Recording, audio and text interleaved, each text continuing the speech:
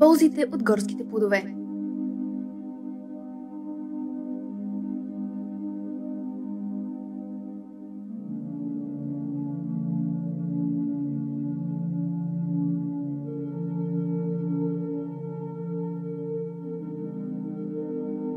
Ягодите са един от най-добрите източници на витамин С. 152 грама ягоди осигуряват калории 49, фибри 3 грама, витамин С 150% от препоръчителния дневен прием, манган 29% от препоръчителния дневен прием.